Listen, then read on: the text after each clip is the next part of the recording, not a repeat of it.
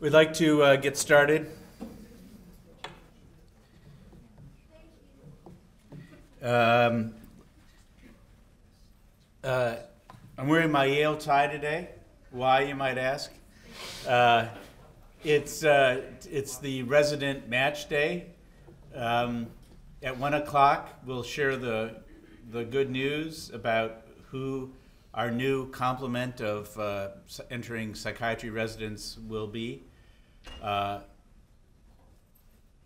I would like nothing more than to spill the beans, but since this is being videotaped, uh, everyone would know for all time that I that I broke the silence, so I won't do that. Um, it's an incredible class, and we're very, very fortunate to have uh, such talented and motivated young people joining our faculty. And I want to thank everybody for helping with the recruitment process, and particularly congratulate David and and, um, and Bob and, and Chris and uh, Bob and Vinod, et cetera, et cetera, Esperanza, the team, uh, and all the people that, that put in all the time for, uh, uh for getting this class here to uh, Yale, particularly uh, people who donated their time for the interviews and um, the residents who, above all, are uh, the best source of information to our applicants about what life in our department's like and, and uh, the most convincing salespeople. So thank, thank you, everybody, for all your hard work and congratulations, because these people are make the department a more fun place. Um, before I introduce John Murray to introduce our speaker today, um, let me just uh, uh, tell you a little bit about upcoming Grand Rounds lectures. Um, on the 23rd, that's next week, uh, Marsha Bates from Rutgers is going to be talking about uh, um, novel ways of thinking about the treatment process for addiction. And uh, she's uh, got a title called Recovering from Addiction Harnessing the Body to Support the Brain. Then the following uh, uh, Friday is Good Friday. And then after that is, um, the, is is Leslie Jamison, who is a, a, a renowned author, who's a, a, novelist and an essayist, um, whose uh, uh, visit to Yale is funded through the Poynter Fellowship at Yale.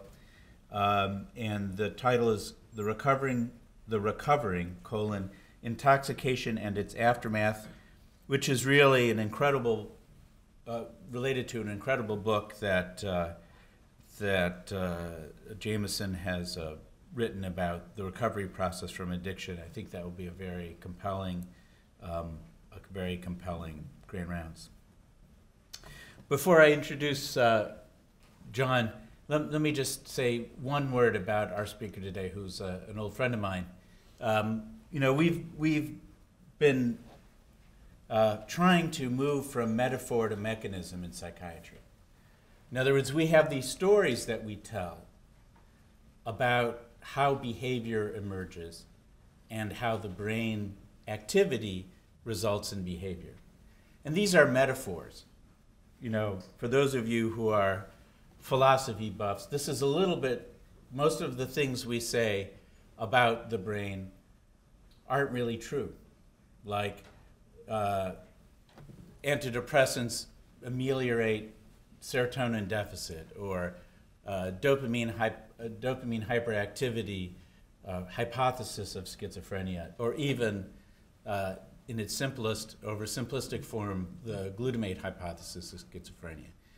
These are stories that we tell which are kind of shorthands that convey the idea that we know something about the brain, but until we actually know the code, until we actually know how these mechanisms across levels and, and translate from gene to molecule to neuron to synaptic connection to network to behavior. Until we really can know the codes and the, and the actual precise mechanisms we're really quite limited in what we can do with all of this neuroscience stuff that we do in psychiatry. So today's lecture we, we are extremely fortunate to have one of the world's great experts in computational neuroscience and psychiatry uh, talk to us about how we move across levels, how we use computational approaches to help us to get closer in, in moving from metaphor to mechanism. And, uh, and I'm going to introduce John to tell us more about it. John.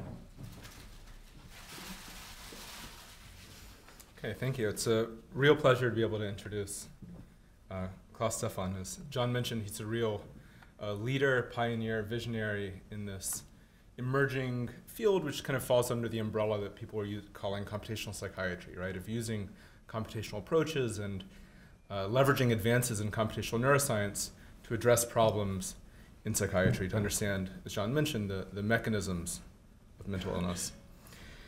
Um, so let's see. So uh, Klaus has a, a, joint chair at uh, ETH uh, Zurich and uh, University of Zurich, where he uh, has founded the translational neuromodeling unit um, in 2012, and that's um, from what I know a very uh, kind of special place where that combines the modelers and the clinical researchers in one environment um, to provide kind of complementary training and allow the people there to really focus um, on clinically important questions, which I think is the real kind of one of the main contributions that Klaus has given to this field. And um, on a personal level, it's been um, inspirational when I was entering this field from a physics, as a physics grad student, to be able to read his papers and think about, okay, what are the, what's the right way to use these computational approaches to really address questions of important clinical uh, utility? And I think that's something that is present in uh, a lot of his work. Um, so Klaus says, you know, uh, part of the reason why he has such impact is because he's come at uh, this point from a very broad range of backgrounds. As undergraduate, he studied medicine, computer science, mathematics. Um, he got his medical license and then a PhD in neuroinformatics. Has done various types of research, everything from neuroinformatics of neuroanatomy to um, modeling of neuroimaging as well as uh, cognitive function and behavior application to psychiatry. So a really broad range of things, and I think that'll be represented in his talk today. Um, and so I hope you all are as inspired as I've been. Thank you.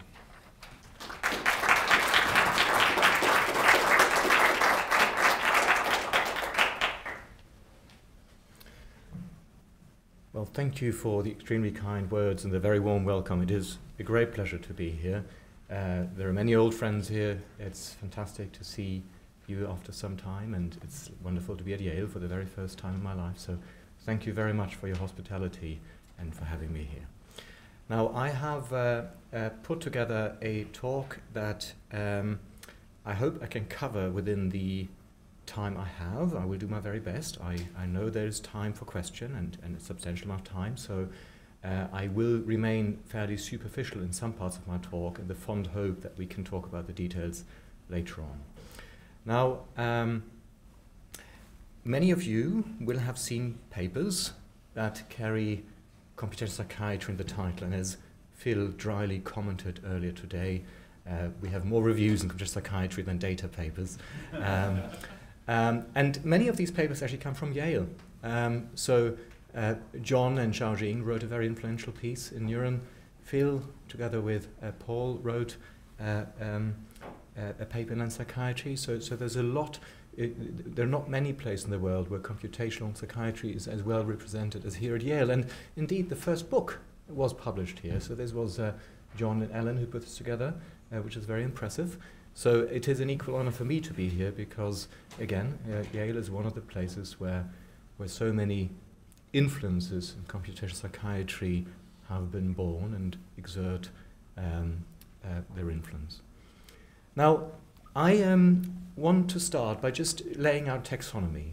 So, computational psychiatry is just one of several clinical disciplines, all of which draw on tools from computational neuroscience, and the link between these two levels, between this extremely broad theoretical field and the applied fields, is translational neuromodeling, which is a field that is interested in the modeling technologies that we need in order to make clinically useful statements. It's a little bit like clinical chemistry provides the tools that then are applied in various clinical fields like internal medicine, pediatrics, etc.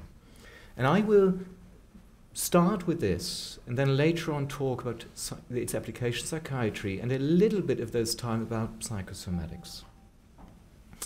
Now, I understand the, the, most of you are psychiatrists, so I don't need to tell you very much about the nosology on which our diagnoses rest. So, in classifications like DSM or ICD, diseases are defined as syndromatic entities. And while that has certain advantages in terms of reliability and mapping onto intuitive experience, there are some profound problems. The phenotyping is actually quite bad, but more importantly, under the same label, we are collecting patients who respond radically differently to treatments quite frequently, and we have no way of predicting who will benefit from what approach. Now, the, so in other words, what our diseases are. They are spectrum diseases. And we've begun to understand in quite some detail in the past two or three decades, thanks to genetic studies and, and, and epidemiological studies, uh, the factors that lead to this diversity that we observe on the ward. And we have come to realize that under these umbrella terms, schizophrenia, depression, etc., probably there are patients that are characterized by quite diverse disease mechanisms.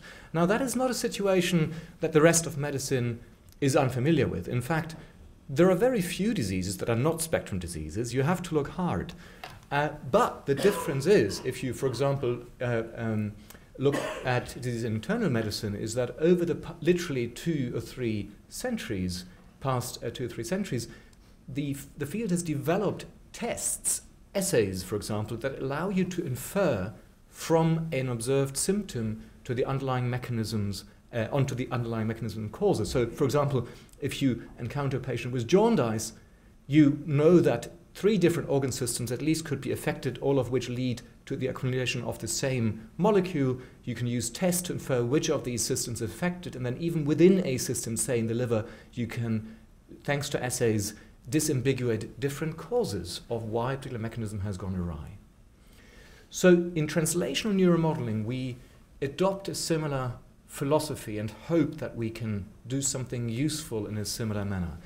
In that we would like to construct assays, but because the brain is much more difficult to assess, we, they have to be of a computational sort that infer from observed brain activity and behavior onto underlying mechanisms that generate, for example, symptoms, but also uh, uh, brain activity. So the idea is that if we can build models that embody putative mechanisms of disease and we can apply them to data that we can acquire in a clinical setting, then hopefully we can disambiguate different mechanisms and group the, or dissect these spectra into more homogeneous subgroups. And the hard bit then is to show in prospective studies that the assignment of individual patients to a suspected mechanism enables a successful treatment prediction. Up to here, this is all mathematics, this is all beautiful fantasy, this is easy. The hard bit is this, and that can only be done in prospective studies, a theme that I will return to uh, multiple times.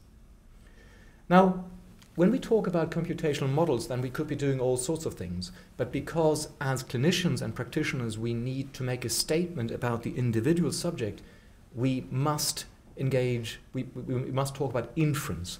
Um, we have to infer from measured data onto hidden mechanisms. And the general statistical framework to do that is Bayesian statistics or Bayesian inference. And this is just a a, a very general um, approach in uh, based on probability theory that allows you to combine information um, about a quantity that you do not know, say a parameter of a distribution or a parameter of a system that, that you're trying to understand. So this information is called the prior.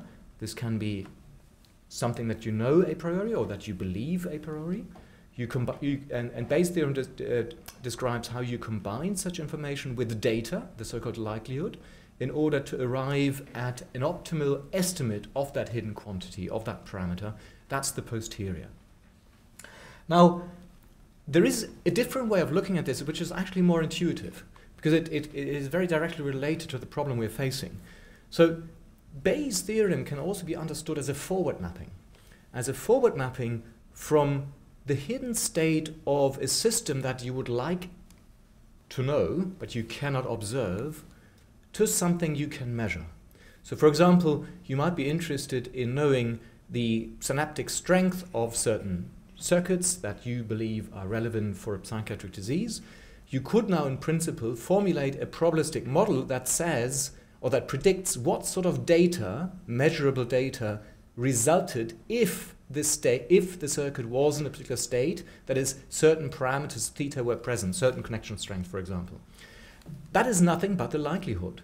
If you combine that with some prior information, you have a complete probabilistic forward model from the hidden state of a system to data. Because you now have that complete link, you can in principle turn it around and do what we call model inversion. You're going from the data to the hidden state of the system. And that is nothing but applying Bayes' theorem and computing the posterior. Now, this approach is called generative modeling. That's a term from statistics and machine learning. Technically, that means it's just a model that, uh, that describes the full joint probability of data and parameters. More intuitively, you can see it as a model that tells you how the data are generated. You can literally use this as a simulation device. Now, this sort of approach can also be applied to behavior, where now the job is to infer from given uh, from measured behavior onto the underlying algorithm or information processing principle that an individual deploys during a particular task. And we will see examples of both during this talk. So if we think back of the Jaundice example I showed and the general tendency in medicine that we have seen to move uh, from symptoms to mechanisms and causes, then I would argue the challenge for us, if we want to be serious about applications, is to make that first step and bring us from the symptom level to the mechanism or pathophysiological level. And the three different challenges that we need to address, and over the next few slides, I will show you in a nutshell the philosophy of how we believe it can be addressed. The three key problems we need to solve are differential diagnosis, stratification, and prediction. If we can crack those problems, then we've made a real step forward in how psychiatry can make use of models. So let me show you in all brevity and very superficially how these three different problems can in principle be addressed using generative models. So differential diagnosis, I mean that's the thing that doctors do on wards every day. A patient comes in, he or she has certain symptoms that bother him or her, and then in the head of the physician, a variety of hypotheses pop up, and informally, there is no mathematics there, it's, it's intuition and experience and informal thinking. You are evaluating in your head how likely it is that this symptom could have been caused by this problem or by that problem. Now, if you have a generative model, you can do that formally. So what the generative model gives you is not just an estimate of the hidden parameters, but it also gives you something called the model evidence. That, that's a measure of how likely the data that you have observed could have been generated by the model, which embodies a disease process. So what we would like to have, we don't have it yet, but what we would like to have, what we're working towards to, is that for a given lead symptom, say hallucinations, delusions, depressed mood, whatever, for a given symptom, we would like to have a set of models, each of which embodies a particular hypothesis about how that symptom comes about, fit the models to the data, obtain the model evidence, compute the posterior probability of the model, and then have a formal statement, a formal probability statement about which possible mechanism is most likely in this patient. Now, the other thing is prediction. We need to be able to predict for a given patient how she or, he or she will develop what sort of treatment is mostly uh, most likely to be beneficial. And here, generative models again give you a real advantage. If you are a standard machine learning person, you would say, well, that's not a problem. You just give me data and I will construct some classifier or some regression model. I will find some mapping. The problem you're facing is that typically you are drowning in complexity. The data that you're being given is so high dimensional that it can be very difficult to find any um, good mapping. And the other problem is that any such classifier is unlikely to be interpretable. It's just a black box.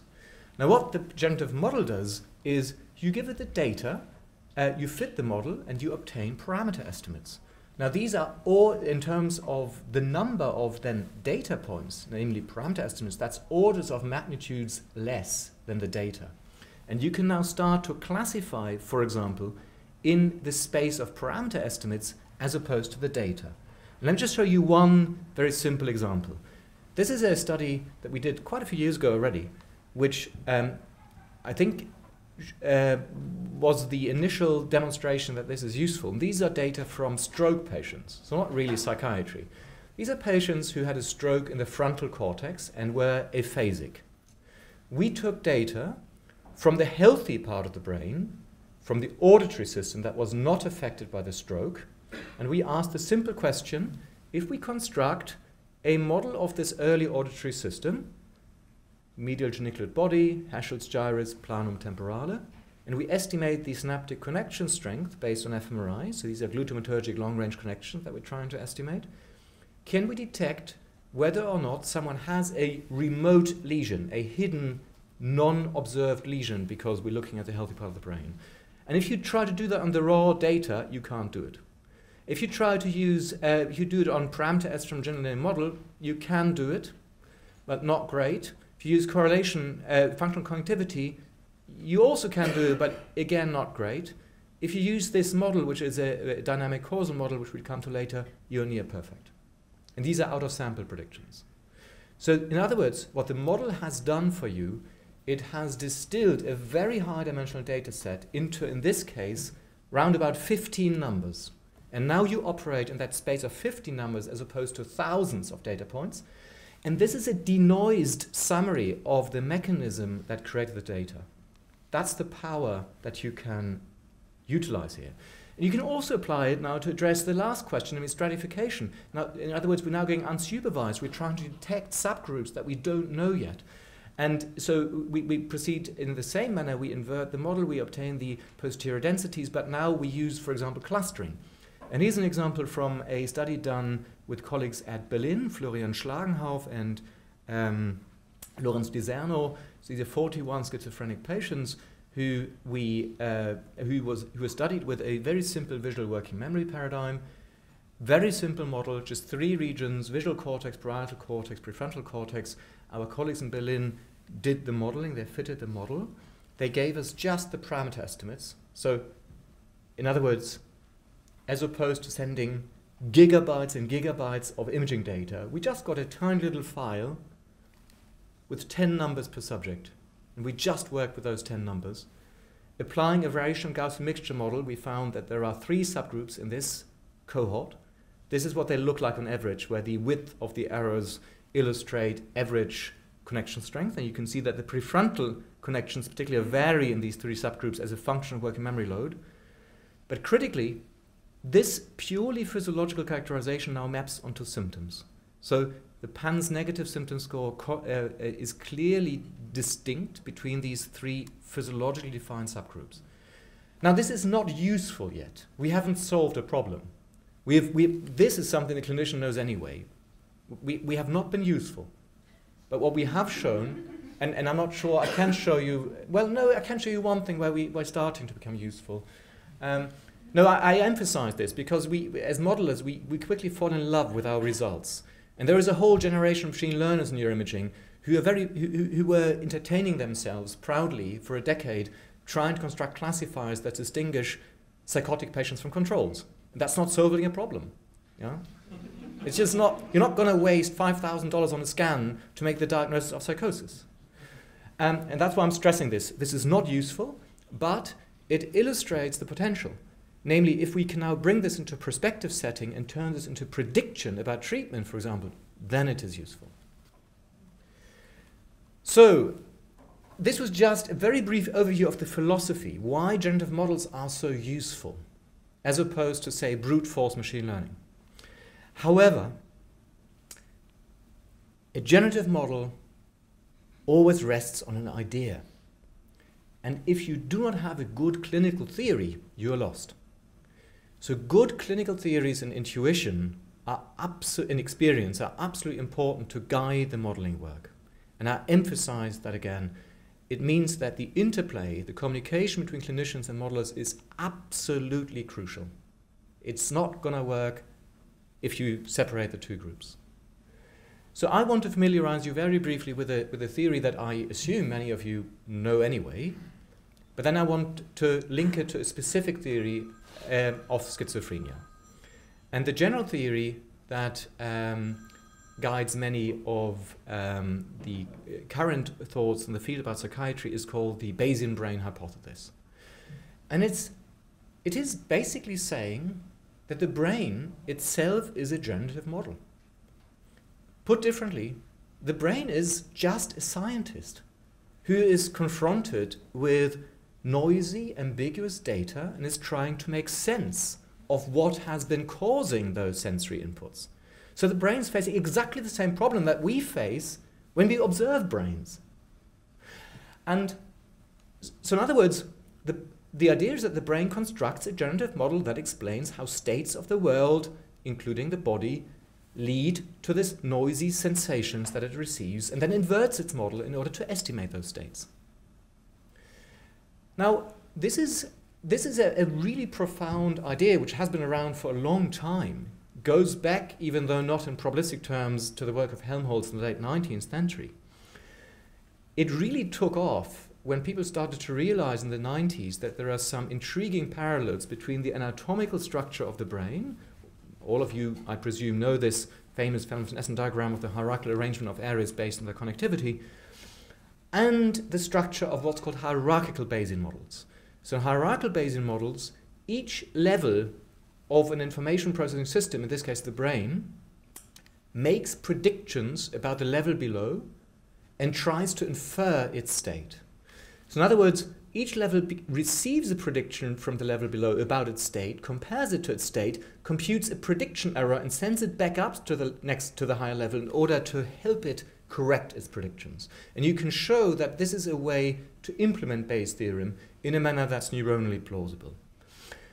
People like, so this is from the famous Rao and Ballard paper 99 in Neuroscience, and then a number of people, in particular Carl Friston, worked on it uh, to endow it with biological realism and pointed out, for example, and something that we will return to later on, that the anatomy puts quite strong constraints on what type of neuronal units are likely to implement this and where they are located. Namely, for example, that in the upper layers of cortex, you would expect to see prediction error units. And we will see that, well, as an image uh, soon. And in the lower layers, prediction units.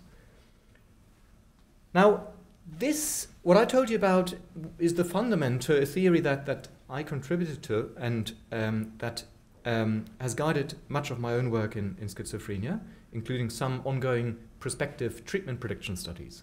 And this is the uh, so called disconnection hypothesis of schizophrenia. This goes back to uh, work by Carl Friston in the late 90s. And when I was a postdoc with him at London, I, I um, took it and, uh, together with Carl, de developed it further in order to incorporate those hierarchical Bayesian ideas, but also to make this explicit statement about heterogeneity, to explain how heterogeneity in schizophrenia can be understood. And the claim here is that what we call schizophrenia is a spectrum of disturbances in, physiologically speaking, interactions between the NMDA receptor and neuromodulators, or equivalently, computationally speaking, hierarchical Bayesian inference. And I will try to unpack that a little bit over the next few slides. However, for me, the, the key thing that is guiding my work at the moment is this predicts that if we could measure, or rather infer, NNI in individual patients and define subgroups of patients, we should be able to predict treatment response. Something I may or may not talk about later on. So you might wonder for a second, and it's, it's, it's a good question, what exactly do we mean by NNI? Well, what I mean by it is literally the postsynaptic interaction between the intracellular cascades elicited by NMDA receptor activation with the calcium influx that it mediates, the activation of kinases and phosphatases, and the short term and long term synaptic modifications, and cascades that are elicited by the activation of metabotropic receptors such as dopaminergic receptors so that they interact and the concurrent activation of these dopaminergic, cholinergic, etc. receptors modifies the intracellular processes and the synaptic modifications that depend on NMDA receptor activation. Critically, some of these are quite fast. Some of these literally can unfold on a millisecond scale, such as the phosphorylation of NMDARs uh, following dopamine receptor activation. And that's important because we are experimentalists who cannot wait for hours until LTP has taken place. We need to see changes over the course of a measurement.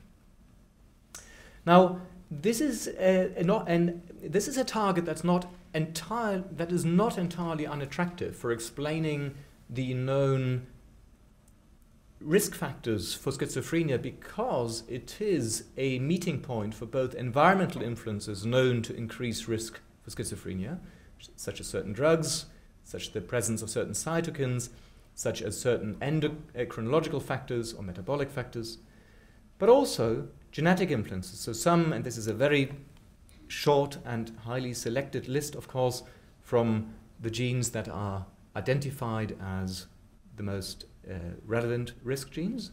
So they meet at this intersection. They both influence either the NMDA receptor or neuromodulators or their interaction. Now, switching to computation, uh, the, the, what I've been talking about so far was purely physiology. But in terms of computation, we can now write down models that incorporate hierarchical Bayesian inference.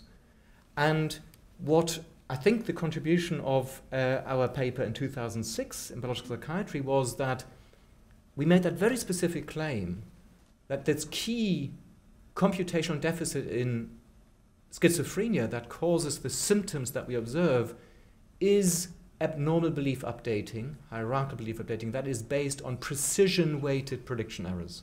And that precision is a very critical aspect that I will come to in a second.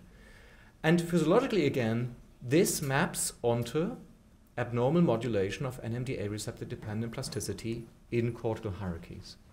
Now, that idea has been used in, in many different ways, and there are there are many distinguished colleagues, including, for example, Phil here, who has, who has written very elegantly about these ideas and tested many of them experimentally. In fact, uh, in, a, in, a, minute or so, we will see some of your work.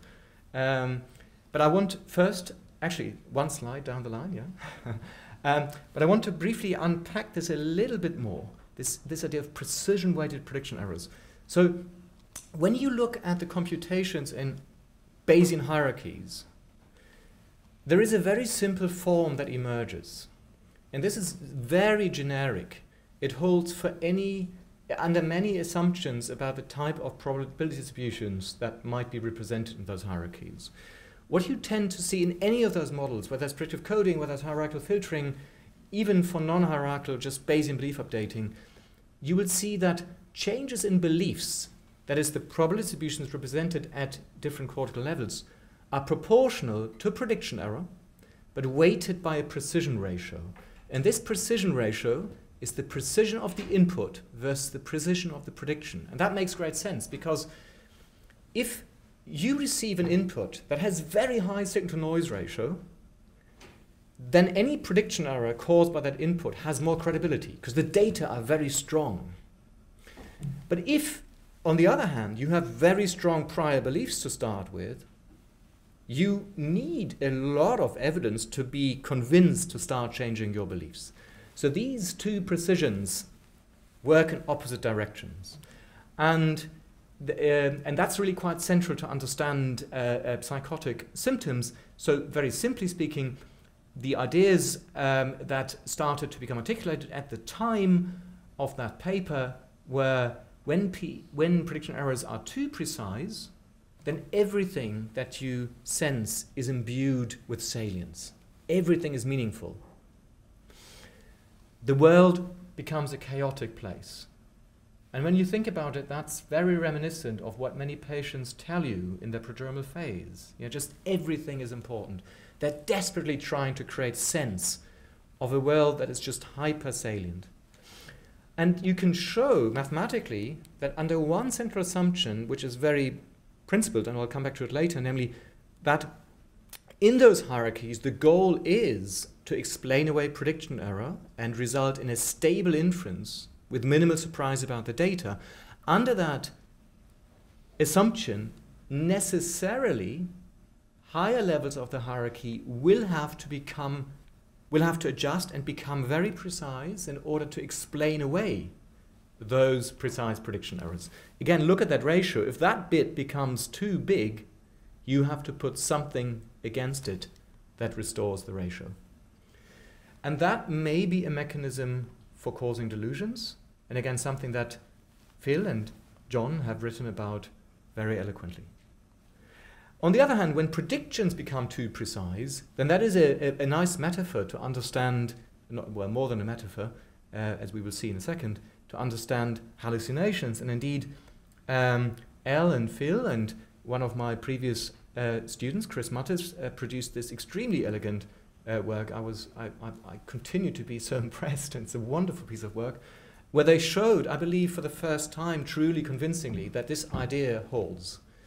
Um, I won't go through all the details because, well, first of all, I'm sure you know it. Secondly, Phil and Al can explain it so much better than I could. But in a nutshell, they used a very clever sensory conditioning paradigm across a range of or peri-threshold intensities to induce beliefs about the concurrent presentation of auditory and visual stimuli, and then cleverly presented in the test phase only the visual stimuli and asked how often they experienced the auditory percept, and then used a model that we will see later on, the hierarchical Gaussian filter, which was developed in my group now seven years ago, to show that hallucinations occurred due to the overweighting to overly high precision of prior beliefs.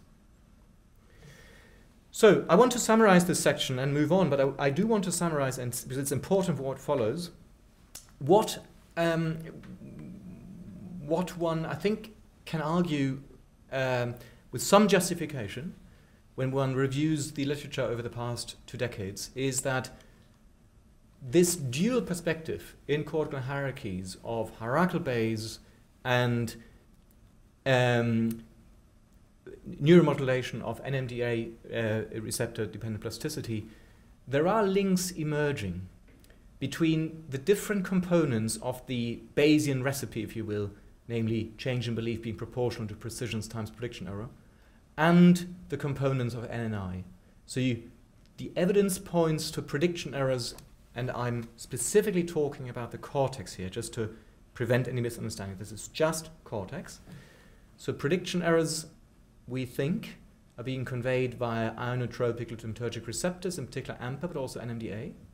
Predictions probably exclusively via NMDA receptors, and precisions via neuromodulation and possibly local inhibition. The key thing is, if one thinks that this theory is not entirely implausible, and I tend to think that, then your job as a modeler gets very clear.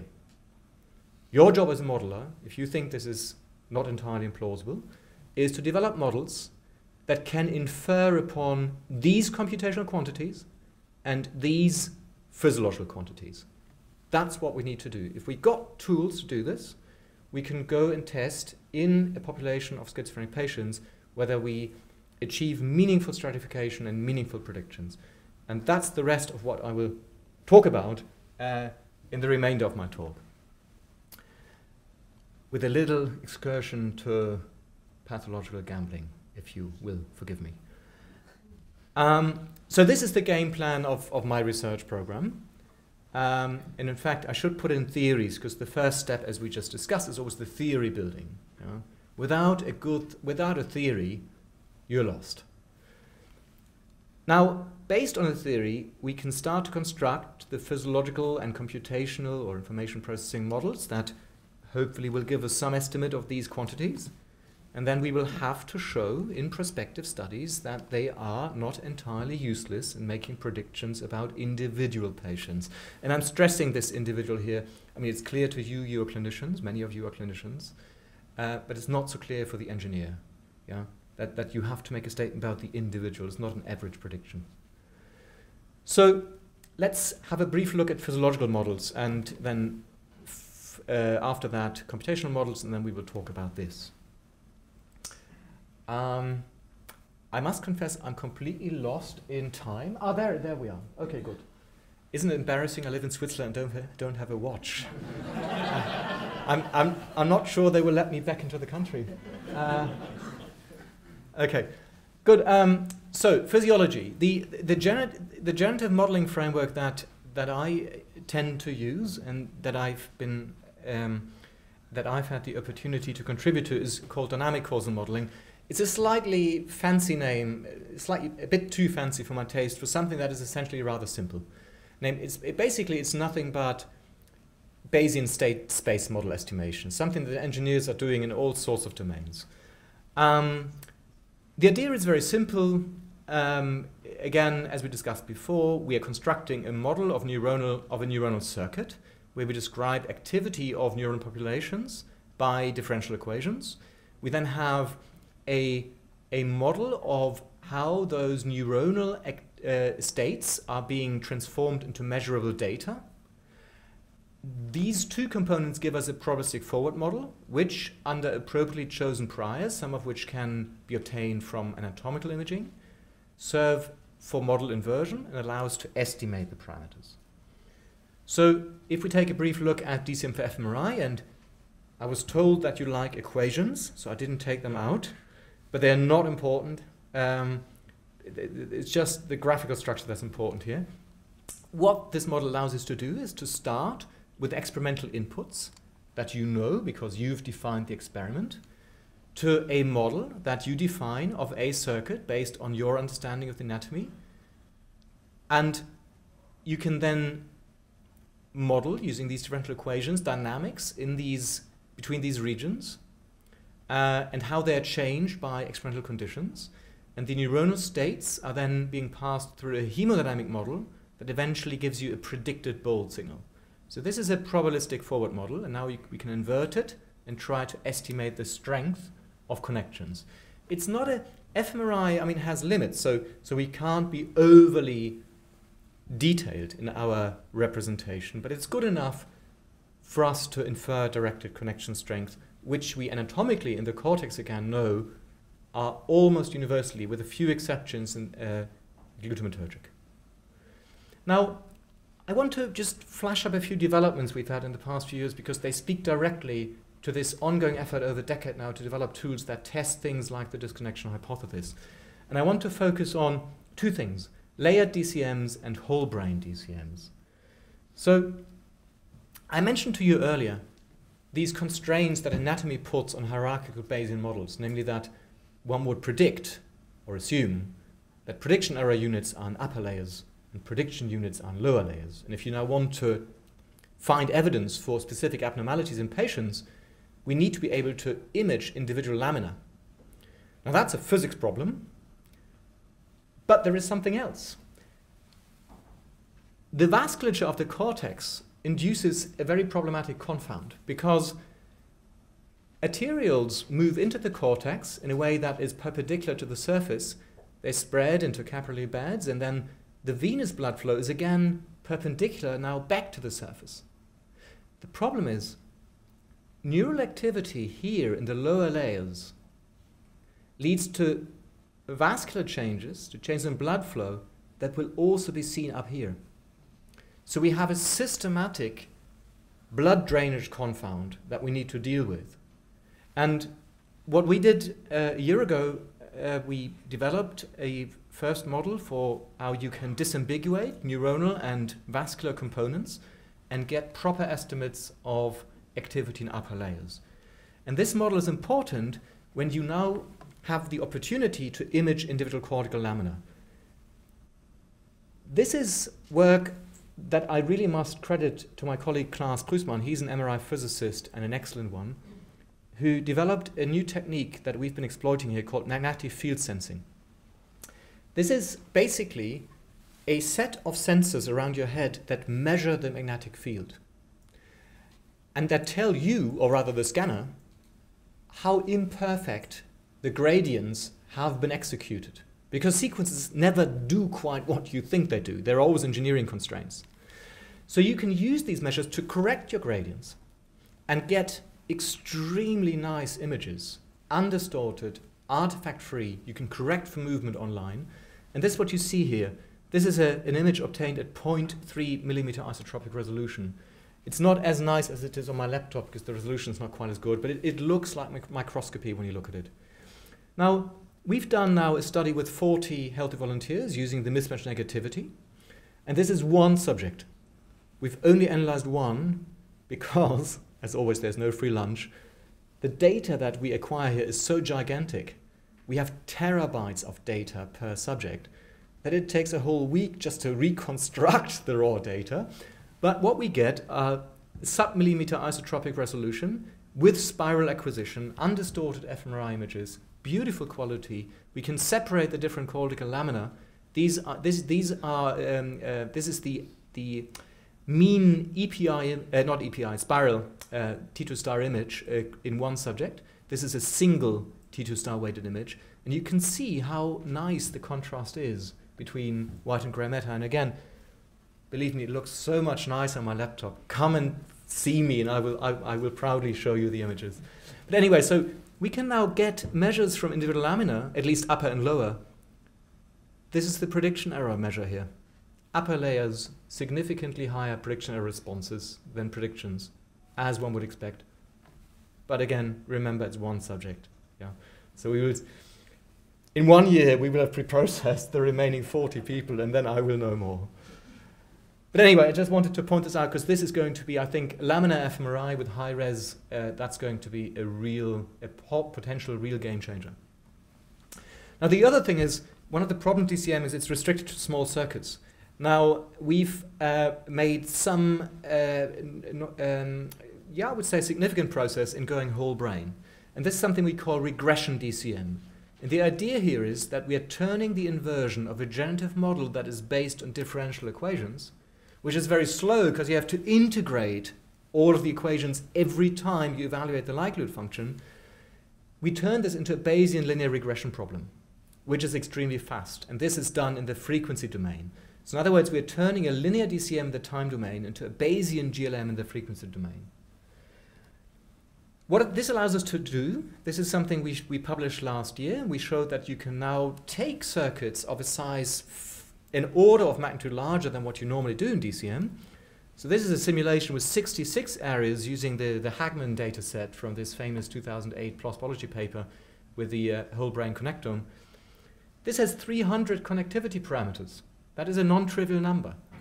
We can compute this in three seconds on a standard laptop. So this is fast.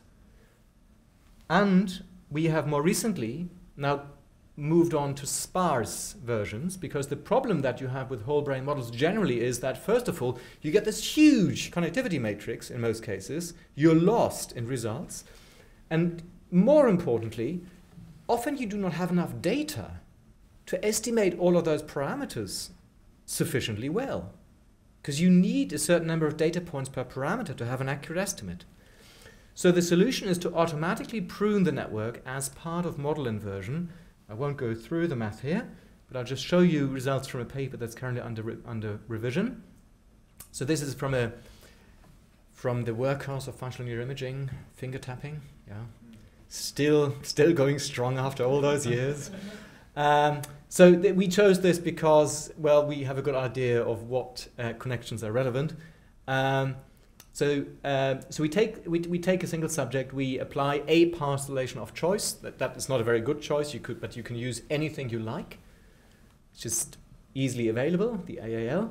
This has 104 regions, which means you're dealing with it with more than 10,000 connections. And we estimate them in such a way that we optimally prune the network and find an optimally sparse solution. This amounts to 9% of the connections in this case. This is the connectogram. It finds all the connections that you would expect, for example, between motor cortices and cerebellum. And importantly, this is really fast. We can do it under one minute on a standard, on standard hardware. So I, I'm mentioning this because just to give you a frame of reference, the work that gets closest to this that I know of uses 36 regions and uses 24 hours on a high performance cluster. So we've now gone several orders of magnitude gone up in performance. And that makes it practical such that hopefully in the next few years we can put a box onto the radiologist's desk and let him or her compute whole brain connectograms as he or she examines the patient. Okay, enough fMRI. Um, moving on to electrophysiology, um, which is interesting because it's much cheaper, much more easily available, much less stressful for the patient. Those of you who, who have worked with, for example, psychotic patients, it's not easy to convince them to go into the scanner. EEG, much easier. So the beauty of EEG is also that if you know where to look, if you know the sources, the data is so much richer. And you have the luxury now to fit far more fine grained and interpretable models, such as conductance based models that describe flow of ions across the postsynaptic membrane as a sum of ion, oh, sorry, of channel specific uh, potential differences. And I want to give you just one example that is very recent work.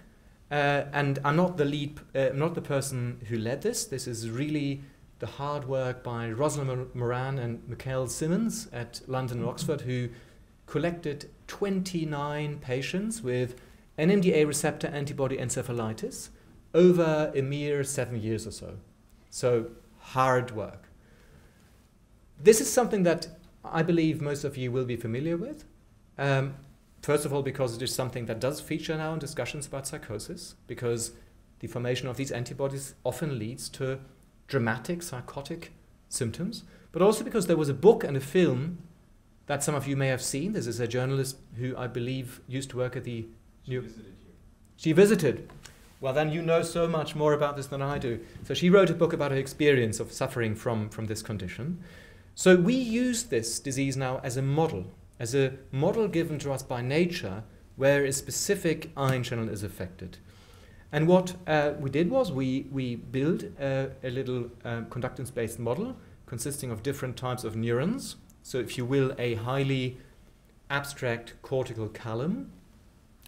And we uh, constructed a network model consisting of prefrontal and parietal sources um, based on work from the Oxford group, who showed that these are the sources that explain most of the EEG activity measured during what is often called, and it's a terrible name, the resting state. Um, so unconstrained cognition, in other words. And what we find when we invert the models, so the red dots are the patients with NMDA receptor antibody encephalitis, and the gray dots are controls, and these are patients who also suffer from encephalitis, but of a different cause. And also healthy controls. So there were I believe, 19 patients with other types of encephalitis and 19 healthy controls. So if you now plot the parameter estimates against each other, you can visually already see that there is some degree of separation. It's not perfect, but you can start to pull these groups apart. Now, these NMDA receptor antibody encephalitis patients include those with chronic and acute stages. If you restrict it to the acute stage, you can separate them perfectly. There is that you can you can put a linear hyperplane through that space and separate those patients, with some qualifications that I won't go into, go into now for, for lack of time. Also, you can look at the parameter estimates that make this possible, and it is indeed specifically the NMDA receptor estimates that make this distinction possible. So this is a demonstration that in principle you can go from surface EEG measurements to statements about changes at a cellular level that are clearly important. Even for this disease, I mean, remember, this is a clinical diagnosis. The presence of these antibodies does not allow you to make this, the diagnosis of NMDA receptor encephalitis because quite a few people without symptoms have these antibodies. Yeah. Right, enough physiology computation. We talked about this idea earlier that, that, uh, that the brain em- embodies a hierarchical generative model and uses uh, and inverts it in order to do perception. The problem is the models that have been around, and they're beautiful models like predictive coding, you can't just throw them at data. They're not models you can fit. So one of, and that's a problem for us as translational neuromodelers. So what one of my students, Christoph Mathys, did in his PhD, and Christoph, I should say, is really a remarkable individual because he's both a physicist, trained at ETH, and a psychologist, so he has that dual perspective. During his PhD, he took on the challenge to transform those ideas into a model that would be very generic and applicable and very efficiently so. And so, what he came up with, and this is, I should also mention, really based on previous work by Tim Behrens and Matthew Rushworth, um, um, Mark Woolrich, my apologies, perhaps also Matthew, why not? All of them. uh, um, so there is this uh, 2007 Nature Neuroscience paper um, th- that, that presented a similar model, but again one that you couldn't fit. And what Christoph now suggested under some clever and generic approximations was that you can describe how sensory stimuli that the brain receives are caused by events in the world that themselves are caused by probabilistic associations between states of the world that undergo changes. In other words, the world is volatile. And that the brain inverts gener- this generative model and infers upon these different states. And critically, because we know that these equations aren't most likely not solvable, uses an approximation that is subject specific. So, in other words, you can now start to understand and, and quantify aberrations of individual Bayesian inference. Again, the same recipe emerges in this model that we talked about before. Um, and what you can now do th- with this model is you can fit it to behavioral data, or indeed, if, if you so wish, single trial electrophysiological data. And you can construct or infer computational trajectories of different prediction errors about the occurrence of stimuli, about probabilities, about volatility, and use that in analyses of, for example, neuroimaging data. And I want to show you two examples that um, shed new light, I hope, or, or some, some light at least, uh, on a very old paradigm that is of central interest for schizophrenia research, which is the good old mismatch negativity that I presume many of you are familiar with. In brief, it's a very simple paradigm where you present sensory stimuli, typically auditory ones, at least traditionally, and these streams of stimuli are occasionally interrupted by surprising oddballs. And you can then measure a very canonical response, and this is inverted, minus is up here, plus is here. This is a very canonical response that you can observe in relation, uh, in response to this, this surprising stimulus. This is the mismatch negativity, and it scales with the unpredictability of the oddball. Critically, it's one of the most robust electrophysiological markers we have in schizophrenia at the group level. It hasn't really been transformed into a subject specific tool, but at the group level, it's incredibly robust. There is this meta analysis by Umbricht and I can't pronounce the name, Krelius, I guess, um, who showed that uh, in all of the studies ever done, and these are at the, this was 2008, there was 35 studies or so, only one failed to find a significant difference. So it's an extremely robust marker. Classically, we have interpreted this as a pre-attentive change detection, but now in the light of those Bayesian theories, we tend to understand it or interpret it as reflection of hierarchical Bayesian inference. But that's been a theory for many years, and you need to show this.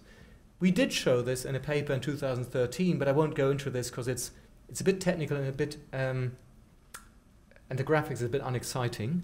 Um, so I'll show you something that's slightly more pleasing to the eye and, and also more recent. Um, so I'm not getting bored with my own old work.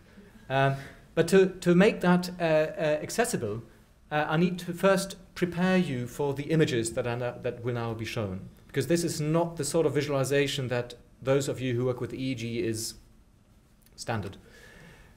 So what we do, what we will see in the next few slides, is a way where we do single trial EEG analysis. and we treat the EEG data now the same way that we treat fMRI data. That is, we collect EEG scalp potential landscapes measured at different time bins within a trial into 3D images, and then subject those images to a general linear model where we now have trial by trial predictions from a computational model in exactly the same manner as we would subject images from fMRI to a GLM. And what we end up with then is this plot here, where here you see within trial time, here you see electrodes across the uh, uh, um, hang on x-axis, and here uh, along the y-axis. And in order to, to test this idea more formally that MMN can really be understood as um, um, hierarchical Bayesian inference, and also test the idea that it's sensitive to NMDA receptor function, we used, first of all, this paradigm that has stable and volatile phases of when the surprising turns occur. And we used ketamine versus placebo. And this is a collaboration with uh, Franz Vollenweider at uh, Zurich. We also did a, much larger study with dopaminergic and cholinergic drugs, but we haven't been unblinded yet, so it's not so interesting to talk about. But that'll be very interesting to see to what degree dopamine and acetylcholine will also exert differential effects. What Lilian Weber, a PhD student in my group, then did was she constructed a standard three-level HGF. We can now make predictions how an ideal Bayesian observer who is being exposed to that stimulus sequence, what type of prediction errors about the stimulus occurrences, but also about the probabilities of the stimulus will experience. We can do trial by trial analyses, and what we find is that, and this is now the average effect across placebo and ketamine, and this is a within subject design, I should say. We find that there is an early response at central electrodes um, at a time window that is reminiscent of the classical MMN. This is a prediction error response, but stimulus occurrence is a low level prediction error. And then later on, we see a prediction error about the probability of the stimulus, so a more abstract, high level prediction error from the hierarchy. So you see that temporal sequence, and we find that the ketamine effect is expressed exactly at this high level prediction error. That is, this high level prediction error is diminished under ketamine versus placebo. So, in other words, ketamine has disabled, has reduced the brain's ability to update expectations about how likely a stimulus will be. So that is a nice, a nice link to the idea that hierarchical Bayesian inference that infers the statistical structure of the world does depend on regular NMDA receptor function and becomes impaired if the NMDA receptor function is, in this case, antagonized. Won't talk about this because, as I mentioned, we're not unblinded yet. The second brief example is uh, this is again very recent work, just uh, came, was just accepted a few days ago. This is now visual MMN because you find the same type of response in other sensory modalities. And here we used a factorial design where we, where we change both color and emotion in displays that are being flashed up. And we again use the HGF to compute prediction errors. In this case, this is a simpler model because there was no volatility. So this is just a prediction error about the nature of the stimulus that's occurring. Again, we do single trial EEG. And we find this is for color and this is for emotion prediction error responses at equivalent time windows and electrodes early during the standard MMN window, and then a later response, uh, considerably later at around 400 something milliseconds. So this, what this says is that there is evidence in single trial responses that the brain activity contains a representation of these prediction errors, of these precision weighted prediction errors. However, one might now rightfully ask, well, that's fair enough, but aren't there simpler explanations? So, what about, for example, the classical interpretation, just change detection? So we also implemented a change detection model, and we then ran a Bayesian model comparison across all voxels in our sensor time data matrix. This is the blue histogram here, and also in a functionally constrained mask where both models lead to significant activity. And in either case, what you see plotted here is the difference in the BIC values as an approximation to the model evidence difference. And a positive value means the Bayesian model wins, and a negative model means the change detection model wins. And a value of 5 would already be strong enough that you would be very certain about this model being better. And you can see that the very large majority of voxels, whether across the entire volume or constrained by function, is better explained by the Bayesian model and not by change detection. Which means you really need to account for uncertainty in your belief updating in order to explain those data. Right. Now we come to the bit that's most exciting and where I have least to show predictions about individual patients. Um, as I mentioned before, all of any, any, any work that aspires to be clinically useful has to pass through prospective studies that are tailored to clinically important questions. And where we can test whether the model would have predicted the outcome and would have facilitated the clinician's decision making. So at Zurich, we are lucky to have a unit that is, is designed to support such studies. At the moment, we are running five studies on schizophrenia, depression, autism, pathological gambling, and MS. And all of these studies try to tackle a concrete problem.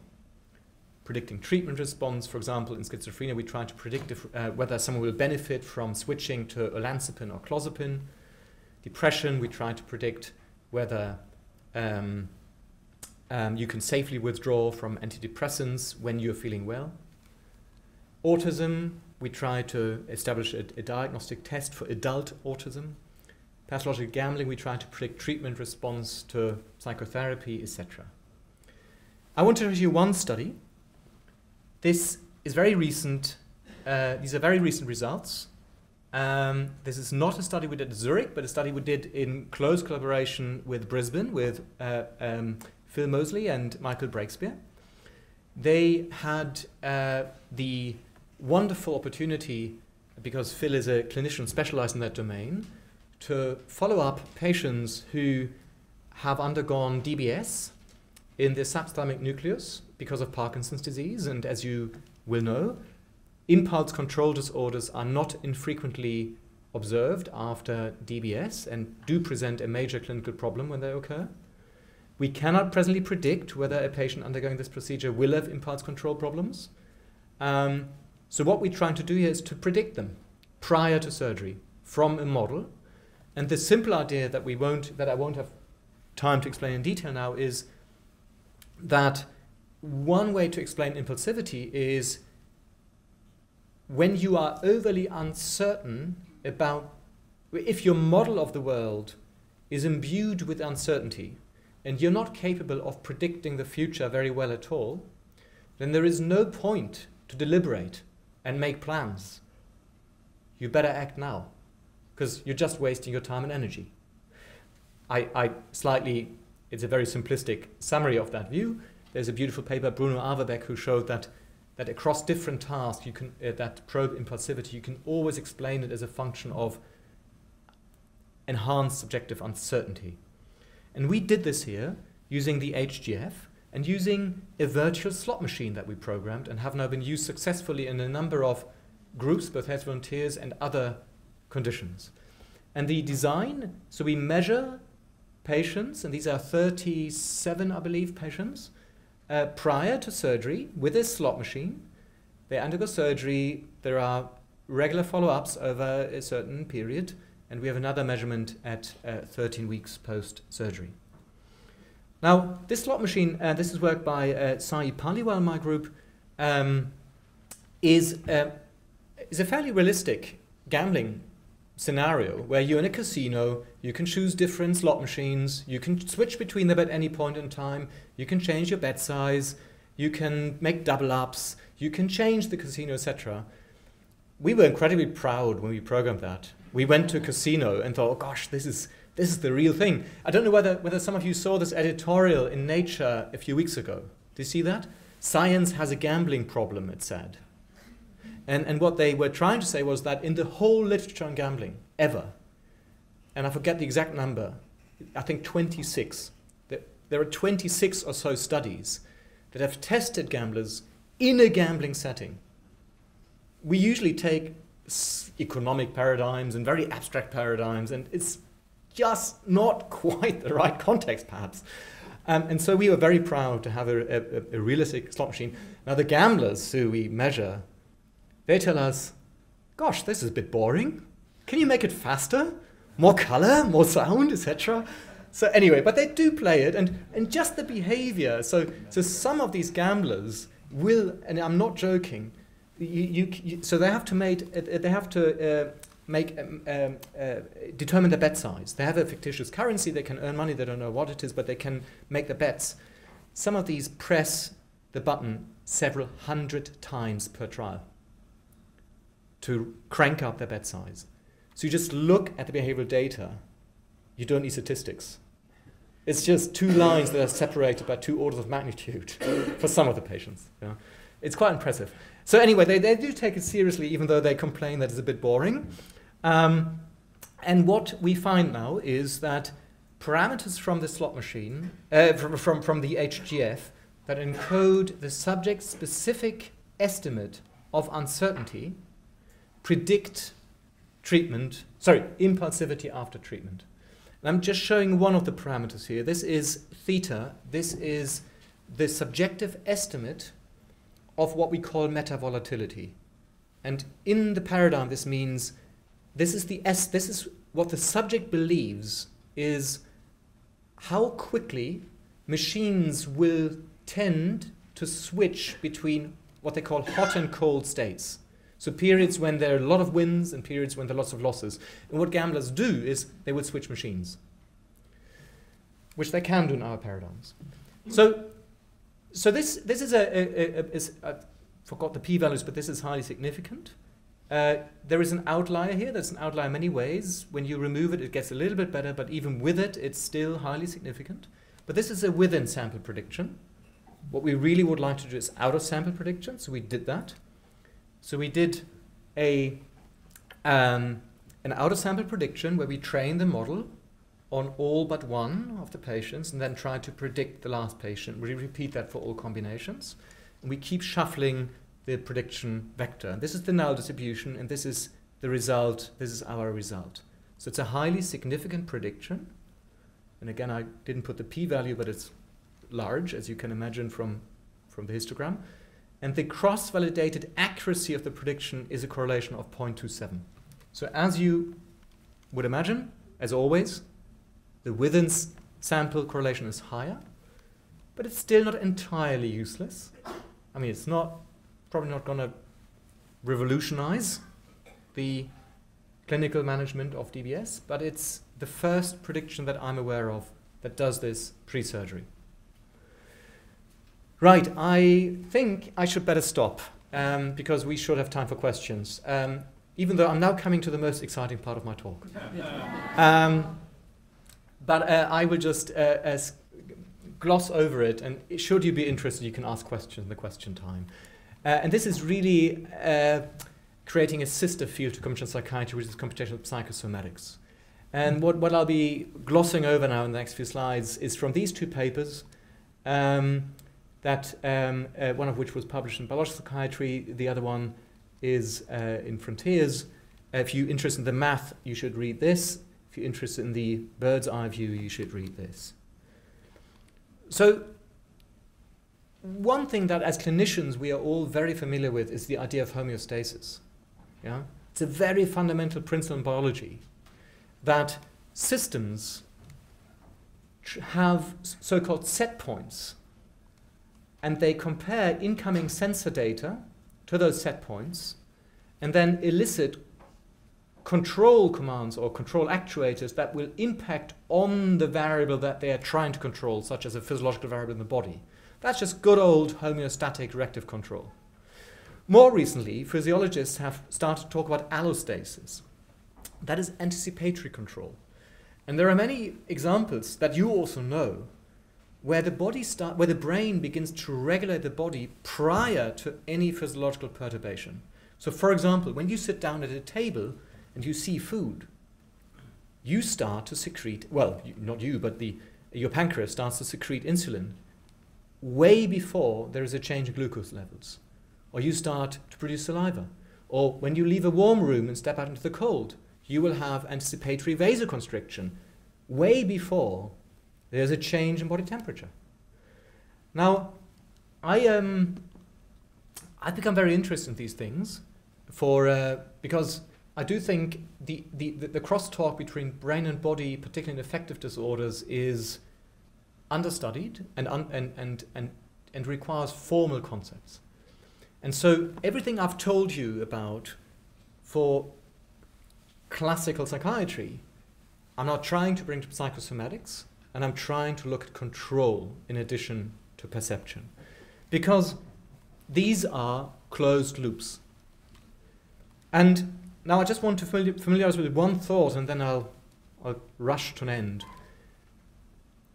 This classical idea of homeostasis can be brought into a Bayesian context if you make the, I think, not entirely uh, implausible assumption that set points are not points. But they are, again, probabilistic representations. They are beliefs about the desirable ranges of bodily variables. The range of variables that the brain believes the body should be in. These are beliefs that can actually be selected by evolution. If you were born with the wrong beliefs about what state your body should be in, you will be selected out. But critically, they can be changed by experience. And we know that some set points change over the lifespan, and they can be changed very rapidly by predictions. And this provides an elegant vehicle for understanding homeosta homeostasis and allostasis, where now homeostatic set points become beliefs, homeostatic beliefs about the expected, uh, about the desirable range of bodily states, you can define now dyshomeostasis formally as information theoretic surprise. You have a measure that tells you what the brain just needs to compute one number that is very easy to compute in order to know how good it is in controlling a bodily variable.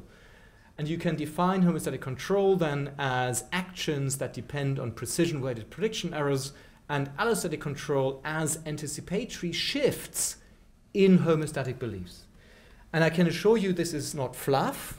There are, you can derive simple but principled equations that capture these things and they allow you to make formal predictions, to simulate such a system. I won't go through this, I just want to show you one example.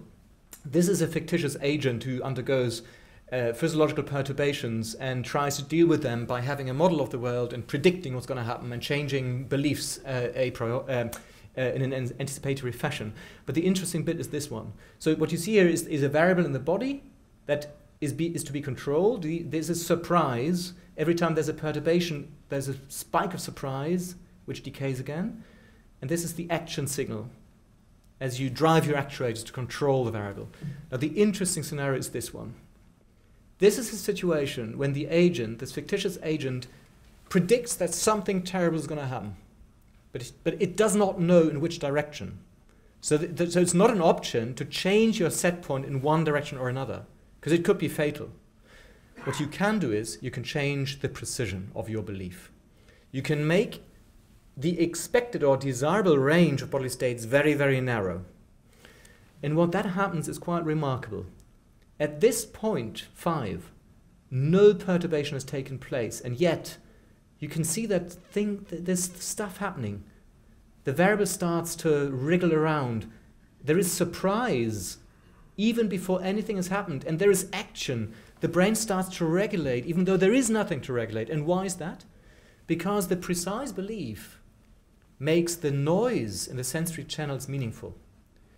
A tiny little deviation that is always there because the systems are noisy suddenly takes on meaning and has to be regulated. This is a beautiful metaphor for many psychosomatic conditions where people engage in what has been called, or where they experience allostatic load, you know, where they, where they activate chronically sympathetic systems in order to control stuff that doesn't need to be controlled. In fact, when I show this to patients, many of them can relate to this very well. They suddenly have an image, they suddenly have a metaphor of what they experience. The beauty is you can now run individual simulations and let them build their own model of their experience, if you will. And I just want to finish by saying that, that we have taken this work further to theorize about the occurrence of fatigue, uh, which we believe is a metacognitive diagnosis because in, in, in those closed loop systems in cybernetics, there are always layers that monitor the system. And here, you just need to monitor one quantity, the surprise. It's easy to compute, in principle. And you can monitor it and if you see that surprise is not going down despite your best efforts, then that is a diagnosis that you are not in control. You're not in control of your body. That is not a nice state to be in. That is a very threatening experience. If that happens acutely, fatigue would be an adequate response. In other words, stopping doing anything, just waiting for the world to, to go on, sickness behavior, for example. If that doesn't help, if you experience chronic interrupted surprise, then that is the expression of learned helplessness in the bodily domain. Maybe that's the point when depression kicks in. So, anyway, and we've taken this further. This is work by Rike Petzschner, published in Biological Psychiatry recently, where we, we try and bring this all together with psychiatry. And, and basically, what we say is we can bring this all in the same modeling framework, hierarchical Bayesian models. We can model control, we can model predictions or forecasting, we can model interoception, we can get those individual estimates of precision weight prediction errors in principle. These models haven't been written down. Well, there are colleagues in the field who have written down models of this sort. We haven't written it down. The challenge will be to make this, again, like the HGF, applicable to real data. And this is where we do the work. This is the TNU Zurich, a small little house in Zurich. Um, in this building, we assemble modelers experimentalists and clinicians, all working the same labs. On the ground floor, there is a clinic where we can um, welcome patients in a friendly environment. Uh, we have EEGs there, we have behavioral labs, uh, physiological labs. Um, MRI is down the road. Um, and, and this is a place where you can do prospective studies in a, in a stable setting over years. Um, if you're interested in the software that, in the, in the tools, here's a bit of software that you can go to. It includes, for example, the HGF. Um, some of you may be interested in training opportunities. We run a yearly annual psychi uh, psychiatry course. Um, uh, this is a whole week course. It attracts uh, 200 students from across the globe, uh, a international faculty with hands-on uh, uh, modeling exercises. These are the wonderful people I have the privilege to work with at the TNU, a very a, a diverse and skilled team. Uh, there are many friends I'm extremely grateful to for, for, for the wonderful collaboration over many years. And I need to thank my institutions who make all of this possible and, and who come together despite the sibling rivalry. Uh, it's an extremely um, good collaboration. I'm extremely grateful for their joint support. And I'm grateful that I can be here and run so heavily over time. And thank you for enduring me. Thank you.